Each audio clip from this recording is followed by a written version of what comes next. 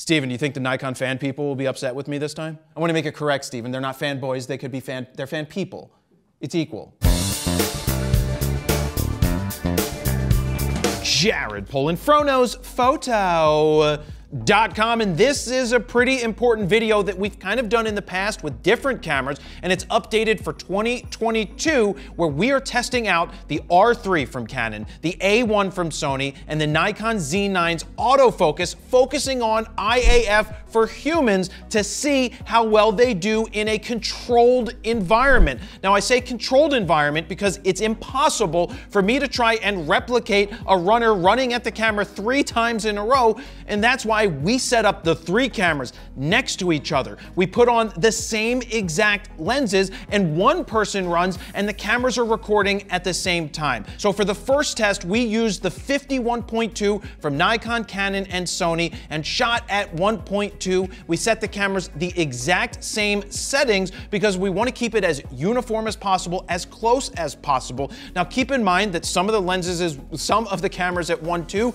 may be slightly different. One may be brighter, one one may be slightly darker, but that's all dependent on how those lenses work on that system. Each camera is updated to the latest firmware at the time of recording it, which is today well, at the, today at the time that we're recording this. We use the wide area AF for all of these cameras. So that means when a subject enters the frame, the autofocus is gonna look for that eye and it's going to find it. And so we set each camera to that. We also maxed out the autofocusing settings as they pertain to stickiness. So the Nikon, you can set it to erratic and five, which we set it to five. Now you can also use 3D tracking for the Nikon, but you can only set that stickiness level to three. So that's why we shot shot with the wide area AF because we can match that across the board with each of these cameras. Now we're gonna run clips in just a minute where you're gonna see these in action, but we also set them all to 30 frames per second. They can all do 30 frames. Now the Nikon shoots those in JPEG, but for this test, it's all about the autofocus, so it doesn't matter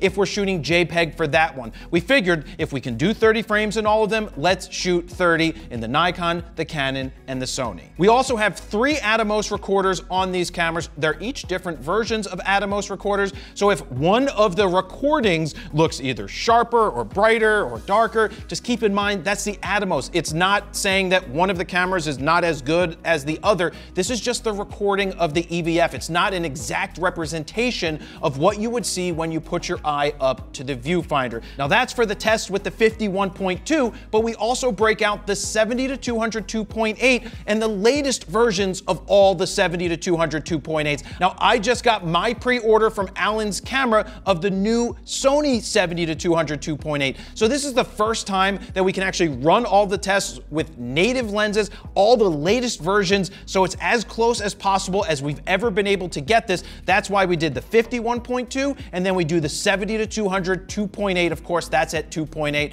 not at 1.2 because they don't go to 1.2. But right now, we're gonna run about two minutes of sample clips. You can take a look, you're gonna see some of them, it's just showing you how the tracking's working, and the others, we also pressed the shutters to take pictures. And when we get back, we're gonna talk about the results. Steven, roll that footage.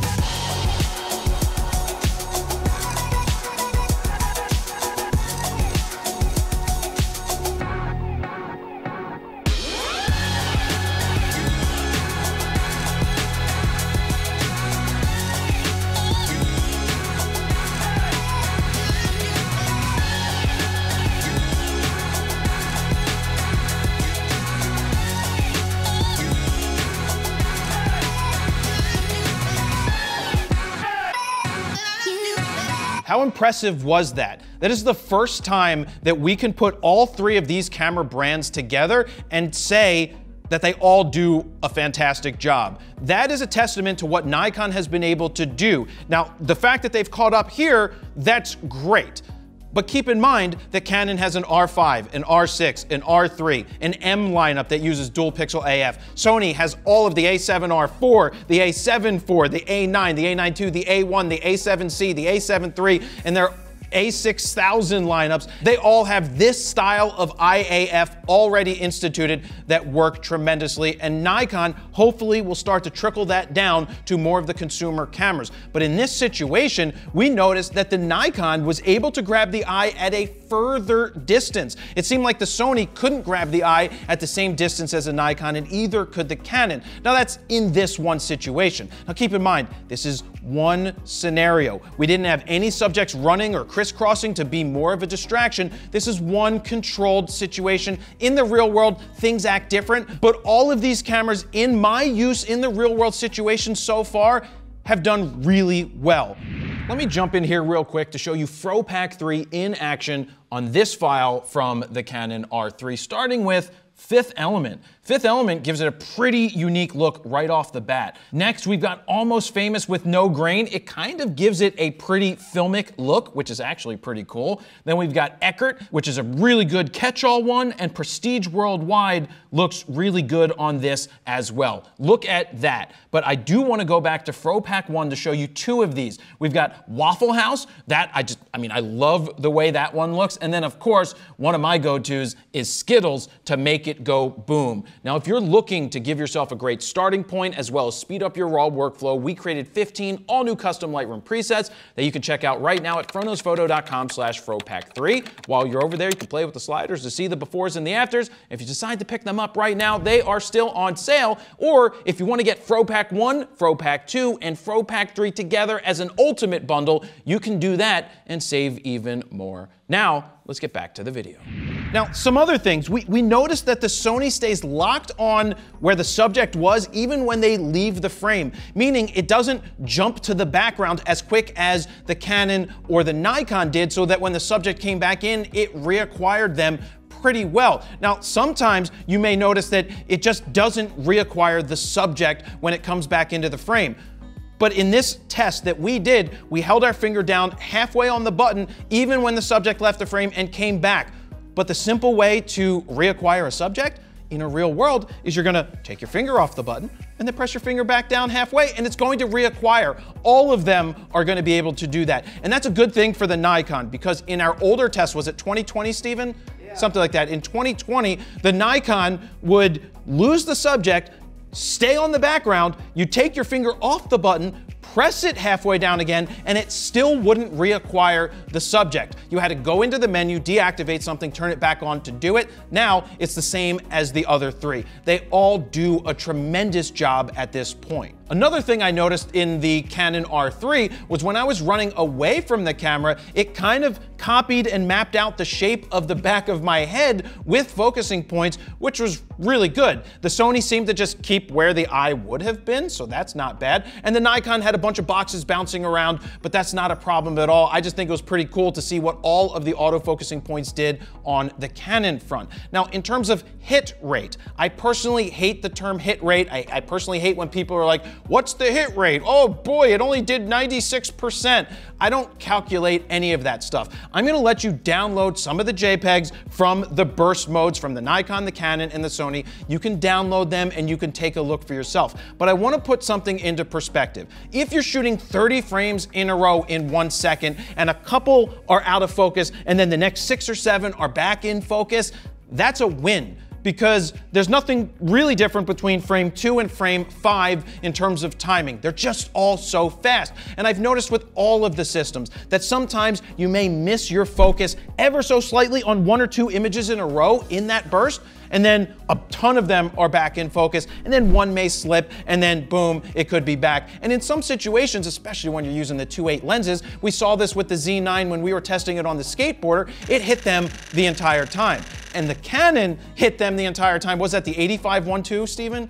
Or the 50? It just basically nailed it for 30 straight frames. So these systems are spectacular. In closing, remember, this is just one situation, but this is the best way that we could come up with doing this.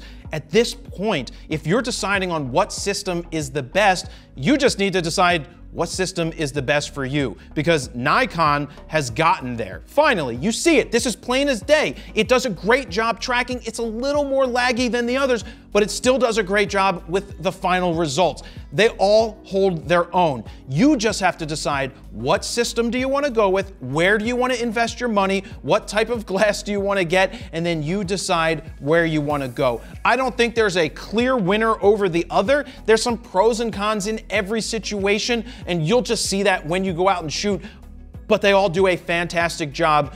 And if you can't get things in focus at this point with any of these cameras, it's probably the person using it that needs to check on a few things because you don't even need to look through these cameras sometimes and just press the button to shoot and it's gonna nail a subject by osmosis at this point. So thank you very much for watching. Did you notice something that we may not have seen in this video? Which do you think did better? Leave some comments down below. Don't forget to like, share, and of course, like I just said, comment. Thank you very much for watching. Jared, Polin FroKnowsPhoto.com. See ya.